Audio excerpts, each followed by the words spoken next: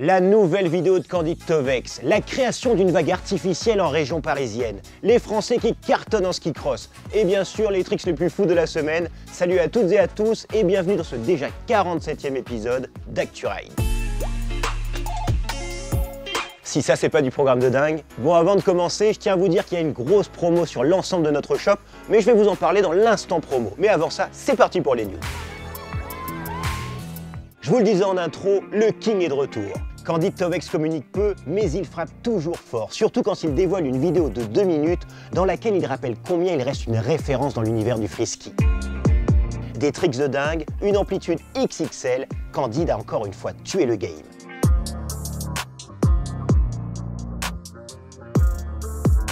En Roumanie, ce skieur a peut-être trouvé une façon de se motiver pour descendre aussi vite que Candide. Le truc, être poursuivi par un ours. Heureusement, l'animal a vite regagné la forêt et l'homme en a été quitte pour une belle frayeur. La finale du Lax Open 2021, la compétition de snowboard la plus prestigieuse d'Europe, s'est déroulée le week-end dernier en Suisse. Chez les femmes, retour gagnant pour l'américaine Chloé Kim, qui remporte son troisième titre dans cette compétition après presque deux ans d'absence. Chez les hommes, le japonais Yuto Totsuka a surpris les juges avec son run parfait. Il s'impose devant l'Australien Scotty James, vainqueur des deux dernières éditions. Autre épreuve, l'événement de ski freeride Arcs Launchpad organisé dans la Haute-Tarentaise sera bien maintenu. Pour cette troisième édition, qui se déroulera les 6 et 7 février prochains, le contest devient une Coupe d'Europe. Les meilleurs de la discipline seront là aussi au rendez-vous, comme les Français Tess Le 2 et Antoine Adlis. Crise sanitaire oblige, l'événement se tiendra à huis clos. Malgré tout, vous pourrez suivre la finale sur la chaîne L'équipe. Et puis on note cette grosse performance des Français sur la Coupe du Monde de ski cross. Chez les femmes, Alizé Baron l'a emporté la semaine dernière au terme d'une finale très serrée, alors que Marielle Berger-Sabatel a terminé deuxième. En snowboard cross, Julia Pereira prend la troisième place.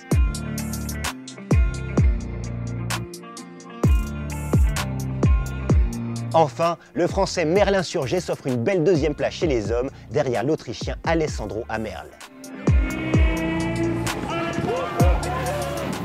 Côté vidéo, le Freeride World Tour et Vibram présentent Léo, une web série sur le skieur français Léo Slemet. Dans celle-ci, le champion du monde de freeride se confie sur ce qu'il a dû affronter ces dernières années, mais aussi sur les efforts qu'il a fournis pour arriver au top niveau. L'ensemble des vidéos sont à retrouver sur la chaîne YouTube du Freeride World Tour. De son côté, l'équipe de Vans Europe a publié Nordic Light, une vidéo tournée à Helsinki, Copenhague ou encore Stockholm. Dans celle-ci, les riders scandinaves ont profité de la pandémie pour redécouvrir les spots de leur ville locale. Autre édit, celui de Vincent Tupin.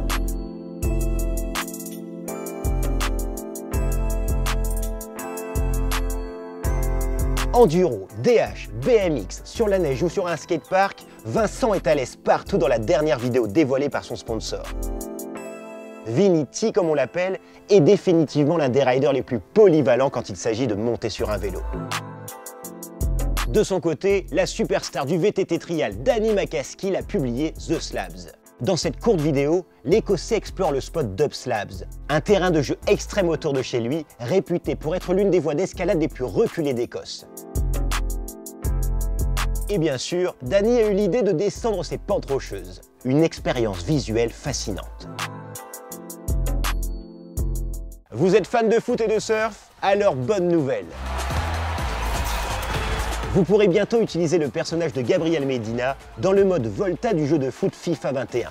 Le double champion du monde de surf fait partie des 10 nouveaux visages de célébrités que les gamers pourront utiliser à l'instar de Lewis Hamilton, DJ Snake ou Daniel Ricciardo c'est fort quand même de retrouver un surfeur dans l'un des jeux les plus populaires. Ça bouge quoi, j'ai l'impression qu'on évolue.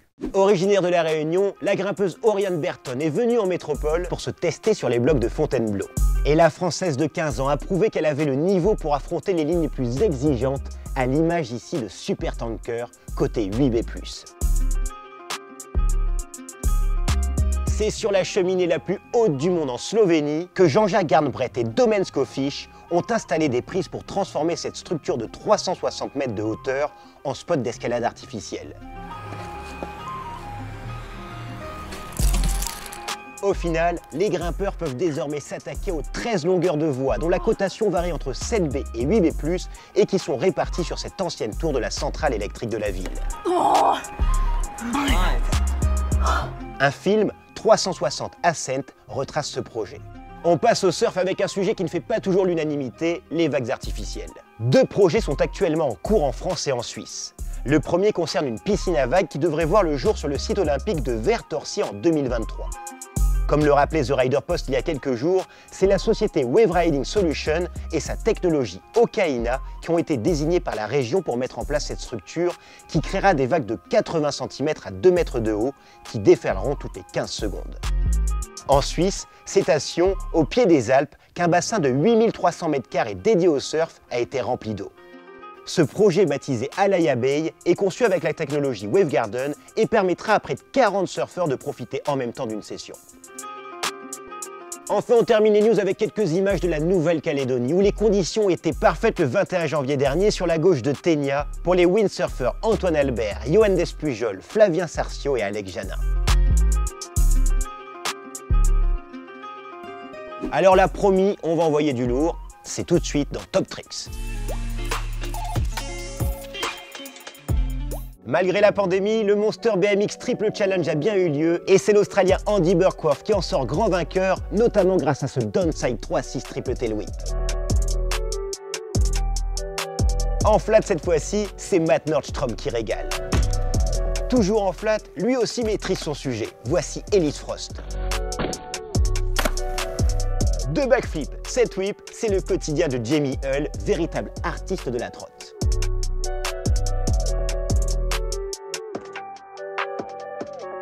trotte toujours et même à l'étranger, Jonathan Perroni fait rayonner la France. On reste à Barcelone où le Frenchie Benjamin Sucara nous balance un superbe enchaînement. Alors là, on vous laisse décrire ce trick signé Kylian Martin. Et voici Jeff de Cesare sur son skateboard qui envoie une ligne XXL. Flip to nollie laser flip to nollie laser flip 540. Énorme. Le base jumper Pablo Signore s'éclate toujours, gros gainer avant d'ouvrir son parachute. On termine avec Matt Jones qui nous dévoile un extrait de Design and Conquer, la série Red Bull lui étant consacrée. Et à l'image de ce magnifique drop, ça s'annonce très très lourd.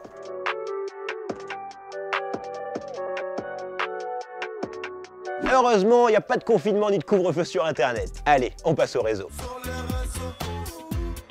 On commence avec le trotty rider Benjamin Friand qui a plus d'un tour dans son sac. Vous reprendrez bien un peu de poudreuse Cette Parisienne a trouvé la solution pour promener son chien sans faire d'effort. On valide l'idée. À Avorien en Haute-Savoie, les remontées mécaniques ont été remplacées par des chevaux. Pratique, efficace. Ah, on s'adapte, hein c'est comme ça, Avoria. On peut aussi varier les plaisirs en optant pour la remontée en VTT électrique. Vous connaissez le télémarque Ok, mais en version croisée, c'est encore autre chose.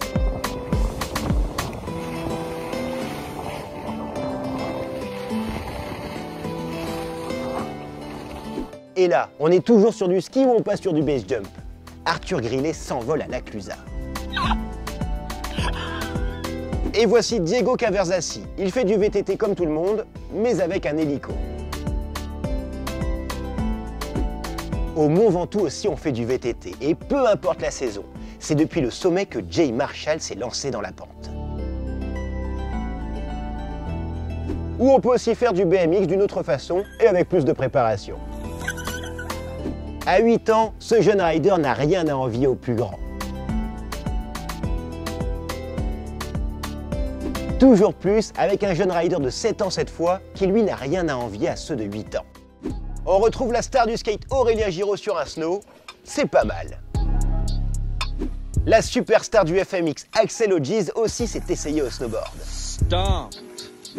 Le saut du doux en mode cru hivernal, c'est plutôt corsé. Mais pas de problème pour Raphaël Urchener et Thomas Neim qui se sont engagés sur cette chute d'eau située en Franche-Comté. Quant à Fred Fugin, c'est en hommage à son coéquipier disparu Vince Refait qu'il a tenu à aller au bout d'un projet qu'ils avaient en tête depuis plusieurs mois. En wingsuit et accompagné de Vincent Cotte, Fred est passé au-dessus de la mythique face de Belvarde qui plonge sur Val d'Isère. Ce groupe d'amis a combiné le curling et le skateboard et ça donne un no-slide ultra satisfaisant. Oh my god Quant à cette dame, elle nous prouve qu'il n'y a pas d'âge pour faire du skate. C'est beau. En Israël, ce kitesurfer se fait un petit kiff pendant sa session.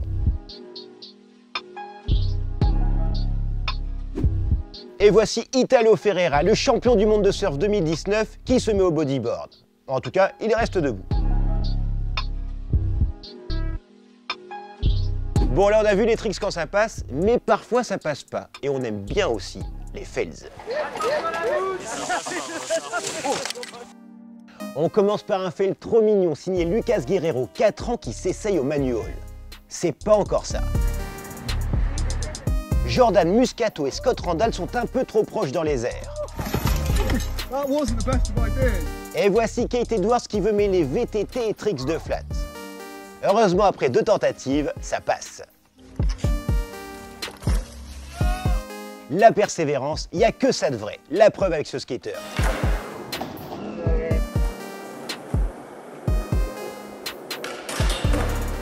Et eh oui, filmer des sports extrêmes, c'est extrême.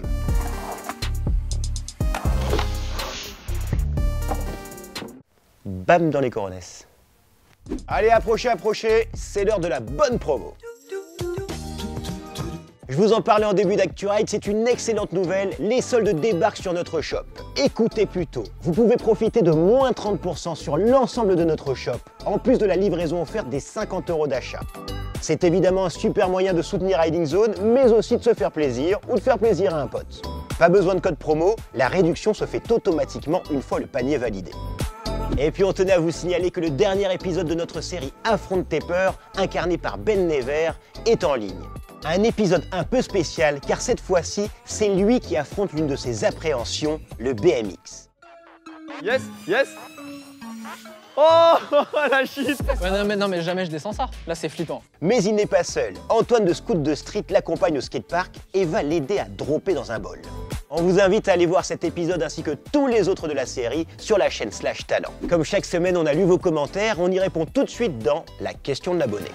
Vous pouvez répéter la question on commence par un de nos fans qui a un pseudo très original, Casa des Poubelles, et qui nous demande c'est quand le prochain Pimp My Bike? Excellente question. Et eh bien figure-toi qu'on y travaille et que justement on recherche encore des vélos, notamment dans la catégorie Bike Life. Alors si ça vous intéresse de transformer votre bike en vélo de rêve, n'hésitez pas à répondre au questionnaire dans le lien en description. Et puis on continue avec deux autres remarques. La première est signée Andy FLT qui nous dit « J'aime tellement votre émission, j'ai raté aucun épisode, mais je trouve que ça manque de véhicules motorisés. » Et Edouard de son côté lui nous dit J'aimerais avoir un peu de motocross dans les vidéos. Là aussi, ce sont d'excellentes remarques et c'est l'occasion pour moi d'apporter une précision importante. Dans ActuRide, nous sommes dépendants de l'actualité. Et s'il n'y a pas assez de news dans un sport, alors il est difficile d'en parler. Mais rassurez-vous, vous nous connaissez, on ne fait aucune distinction entre tous les sports. On aime l'action en général. On termine par Flat Skateboarding qui nous dit presque le million. Et oui, grâce à vous, on devrait y être dans quelques mois, voire dans quelques semaines, voire dans quelques jours.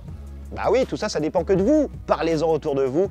Dans tous les cas, on va y arriver. Voilà, ActuRide, c'est déjà terminé. Comme d'habitude, j'espère que vous avez passé un bon moment. Je vous rappelle de vous abonner si ce n'est pas déjà fait, la petite cloche. Toute l'équipe se joint à moi pour vous souhaiter un excellent week-end et plus que jamais, prenez soin de vous. Ciao